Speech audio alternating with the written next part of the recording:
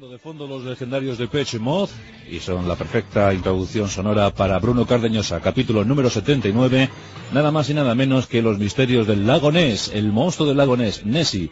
¿Qué es Nessie en realidad? ¿Cuántas hipótesis hay sobre el asunto? ¿Alguien ha visto realmente a- al monstruo? Bueno, pues eh, de eso y de otras muchas cosas nos va a hablar Bruno Cardeñosa en este capítulo 79 sobre nuestros enigmas del mundo.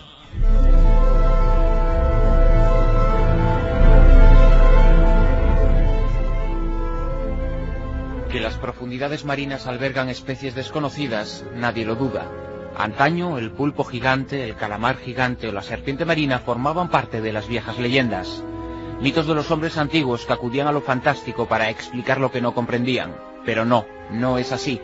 Esos animales existen. Hoy lo sabemos con seguridad.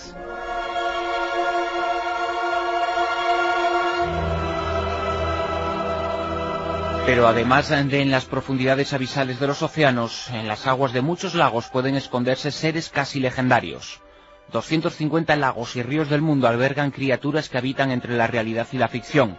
Solo en Escocia, en 24 lagos, se señala la existencia de un monstruo. El más conocido de ellos es el monstruo del lago Ness. Allí, en los últimos 70 años, se han registrado más de 3.000 observaciones de esta criatura. Son más de tres apariciones cada mes. La primera referencia data del siglo VI. Entonces y en siglos posteriores, el supuesto monstruo fue visto por numerosas personas.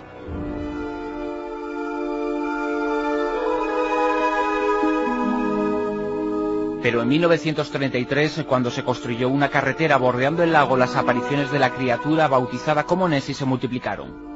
Los primeros en verla fueron un matrimonio, los Mackay.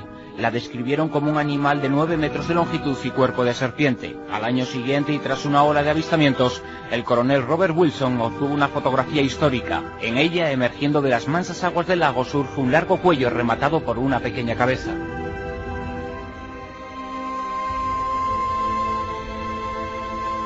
La apariencia de esta criatura, que bien parecía un dinosaurio, fue el único argumento que emplearon los científicos para defenestrar cualquier intento por esclarecer los hechos. Pero los avistamientos prosiguieron. En 1960, Tim Day, que luego escribiría un clásico sobre el asunto, obtuvo una filmación en la que se veía a la criatura desplazándose bajo el agua. Serpenteaba a unos 11 kilómetros por hora. En esas mismas fechas logró detectarse por sonar a la criatura, pero las expediciones con submarinos que han pretendido identificarla acumulan fracasos. La criatura es sin duda esquiva. La razón posiblemente es la extraordinaria profundidad del lago, lo que unido a la existencia de numerosas grutas en su interior facilitarían al monstruo convertirse en un animal más que escurridizo.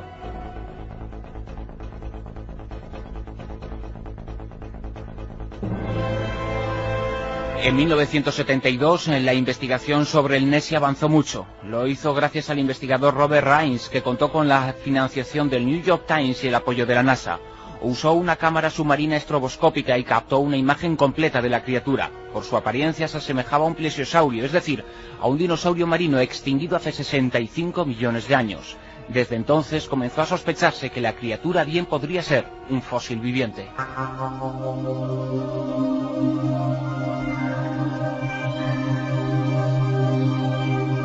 Las investigaciones no han cesado por un momento, pese a ello existen muchas dudas. Por ejemplo, el hecho de que los plesiosaurios eh, no pudieran respirar bajo el agua y por tanto el Nessie necesitaría salir a la superficie para hacerlo. Sin embargo, aunque se ha visto al Nessie en varias ocasiones fuera del lago a pocos metros de la orilla, debería haberse visto en más circunstancias. Por ello, quizá, podemos pensar que estamos ante algún otro tipo de fósil viviente o ante una criatura todavía sin clasificar.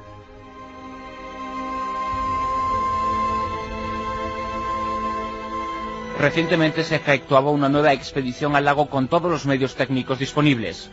Los sonares de los submarinos detectaron su presencia, pero el monstruo sigue siendo extraordinariamente esquivo. Además, hace unos meses el doctor Picardi, un geólogo italiano, aseguraba que las visiones del monstruo son errores perceptivos que se deben a las burbujas de aire que suben a la superficie del lago cuando se producen movimientos tectónicos. Sin embargo, la Sociedad Británica de Geología salió al paso. La falla que cruza el subsuelo del lago está inactiva y por tanto no puede causar el fenómeno. Un fenómeno que sigue siendo objeto de estudio. Hoy, gracias a Internet, decenas de cámaras webcam vigilan 24 horas al día lo que ocurre en el lago.